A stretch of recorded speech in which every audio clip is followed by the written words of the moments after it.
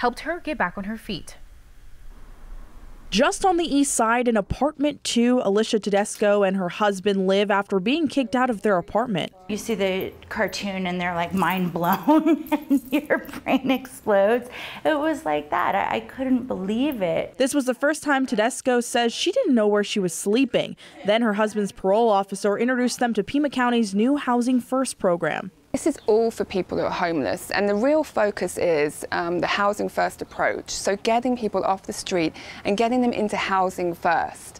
And then, once they're in housing, then we can work with them with their other issues. Issues like mental health and addiction. Old Pueblo Community Services believes they can help people once they have housing. Tedesco says she suffers from PTSD and panic anxiety. One of the, the goals I have is just to get that under control and be able to have the time and the support to do that. And that's what this, um, this community is helping us do. Each person in the program gets their own apartment, then has 45 to 90 days to get long term housing. We continue to see um, lots of people come in and out of the jail. We continue to see them come in and out of the hospital.